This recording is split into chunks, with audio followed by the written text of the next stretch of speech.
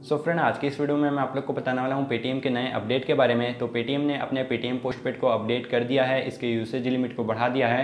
तो अब आप अपने पेटीएम पोस्टपेड के अमाउंट को काफ़ी जगहों पर यूज़ कर सकते हैं। तो अगर आपको भी जानना है कि आप अपने पेटीएम पोस्टपेड के अमाउंट को किन किन जगहों पर यूज़ कर सकते हैं तो ध्यान से देखिए इस पूरे वीडियो को। सो हाय फ्रेंड्स मैं हूँ यस आप देख रहे हैं समझ ज़बरदस्त तो चलिए स्टार्ट करते हैं इस वीडियो को।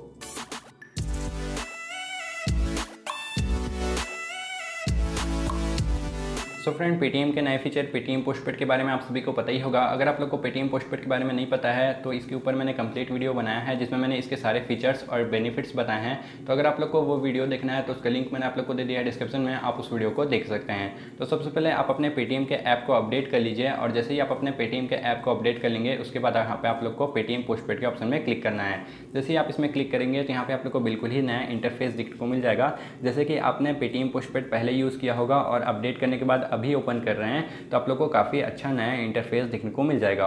और यहाँ पे आप लोग को तीन ऑप्शन मिल जाएँगे, एक होम का पासबुक का और वेयर टू यूज़ का। तो वेयर टू यूज़ का जो ऑप्शन है, जैसे ही आप उसमें क्लिक करेंगे तो आप लोग को काफ़ी आसानी से ये पता चल पाएगा कि आप अपने पेटीएम पोस्टपेड के अमाउंट को किन किन जगहों पर यूज़ कर सकते हैं। तो मैं आप लोग को यहाँ पर दिखा देता हूँ तो आप यहाँ पर देख सकते हैं, आप इतने सारे जगहों पर पेटीएम पोस्टपेड का अमाउंट जो है यूज़ कर सकते हैं, जो कि पहले नहीं था। आप पहले पेटीएम पोस्टपेड के अमाउंट को सिर्फ़ कुछ कुछ जगहों पर यूज़ कर सकते थे, जैसे कि पहले के पेटीएम पोस्टपेड से आप सिर्फ़ रिचार्ज कर सकते थे मूवी टिकट बुक कर सकते थे और पेटीएम मॉल से शॉपिंग कर सकते थे।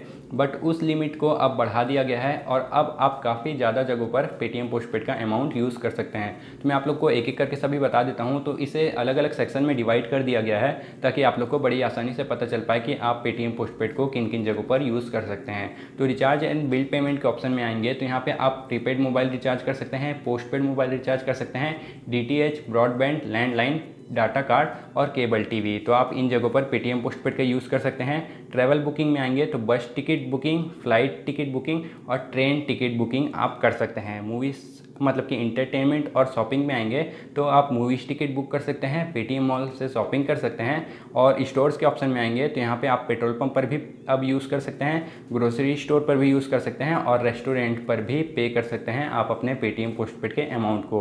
तो आप यहाँ पर देख सकते हैं, यहाँ पर जो स्टोर्स का ऑप्शन है, ये मुझे सबसे ज़्यादा अच्छा लगा, क्योंकि हम डेली रूटीन में पेट्रोल पम्प ग्रोसरी स्टोर और रेस्टोरेंट पर ही ज़्यादा यूज़ करते हैं अपने पेटीएम के अमाउंट को। तो अब आप पेटीएम पोस्टपेड के अमाउंट को स्टोर पर भी पे कर सकते हैं। तो ये जो तीन चीज़ें हैं, ये मुझे सबसे ज़्यादा अच्छी लगी क्योंकि इसमें हमें काफ़ी ज़्यादा बेनिफिट मिल जाएगा। क्योंकि पेटीएम पोस्टपेड का अमाउंट आप तुरंत यूज़ कर सकते हैं और उसका जो पेमेंट है, वो आपको नेक्स्ट मंथ करना रहता है। मतलब कि आप लोग को एक तरह से एक महीने का लोन दे दिया जाता है पेटीएम की तरफ़ से। तो ये काफ़ी अच्छा फीचर है तो आप यहाँ पे देख सकते हैं कि आप अपने पेटीएम पोस्टपेड के अमाउंट से इन सभी जगहों पर यूज़ कर सकते हैं उस अमाउंट को। तो जैसे कि बाकी सभी चीज़ों के लिए आपको पेमेंट कैसे करना है, ये तो पता ही होगा। लास्ट में जब पेमेंट ऑप्शन मिलता है, उसमें पेटीएम पोस्टपेड का ऑप्शन रहता है। जैसे ही आप उसमें क्लिक करके पे करेंगे तो आपका पेटीएम पोस्टपेड का अमाउंट यूज़ होता है। बट स्टोर में आपको स्कैन करके पे करना होता है। तो ये मैं आप लोग को बता देता हूँ कि स्कैन करके कैसे पे किया जाता है। तो चलिए मैं आप लोग को बता देता हूँ कि आप स्टोर्स पर स्कैन करके कैसे पे कर सकते हैं पेटीएम पोस्टपेड से। सो so फ्रेंड अगर आपको किसी स्टोर पर पेमेंट करना है, पेटीएम पोस्टपेड से तो उसके लिए आप लोग को क्लिक करना होगा पे के ऑप्शन पर। जैसे ही आप पे के ऑप्शन में क्लिक करेंगे तो आप लोग को स्टोर का क्यूआर कोड स्कैन करना होता है। तो यहाँ पर मेरे पास क्यूआर कोड तो है नहीं, बट मैंने रिसेंटली एक पेट्रोल पंप पर ट्रांजेक्शन किया था तो उस पेज को मैं यहाँ पर से उठा लेता हूँ। तो जैसे ही आप स्टोर का क्यूआर कोड स्कैन करेंगे तो आपके सामने पेमेंट पेज जो है क्रिएट हो जाएगी, और उसके बाद आपको अमाउंट इंटर करना है। जो भी अमाउंट आपको पे करना है, वो अमाउंट इंटर करना होगा। तो मैं यहाँ पे से सिंपली टेन रुपीज़ ऐड कर लेता हूँ टेन रुपीज़ इंटर कर लेता हूँ, और अमाउंट इंटर करने के बाद आपको बैक आ जाना है। जैसे आप बैक के ऑप्शन में क्लिक करेंगे तो यहाँ पे आप लोग को नीचे की तरफ़ एक ऑप्शन देखने को मिल जाएगा जो कि है पे यूजिंग का। तो पे यूजिंग में आप अभी देख सकते हैं, अभी पेटीएम वॉलेट सेलेक्टेड है। मतलब कि अभी जो अमाउंट है वो डिडक्ट होगी मेरी पेटीएम वॉलेट से बट मुझे पेटीएम पोस्टपेड का अमाउंट यूज़ करना है तो उसके लिए मुझे एरो के ऑप्शन में क्लिक करना होगा। जैसे मैं इस ऑप्शन में क्लिक करूँगा तो यहाँ पे पेटीएम पोस्टपेड का ऑप्शन आ जाएगा। तो जैसे ही आप पेटीएम पोस्टपेड के ऑप्शन में क्लिक करेंगे तो यहाँ पे से आप पे सिक्योरली करेंगे तो जो भी अमाउंट है वो आपके पेटीएम पोस्टपेड के अमाउंट से डिडक्ट हो जाएगी।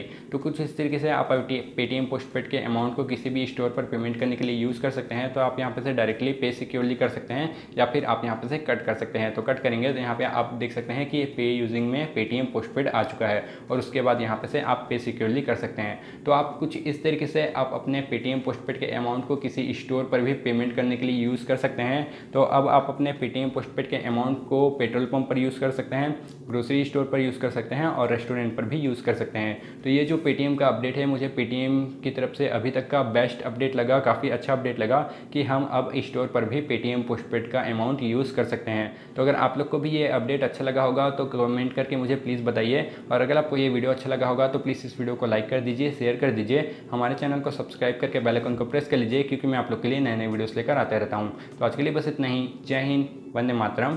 Thank you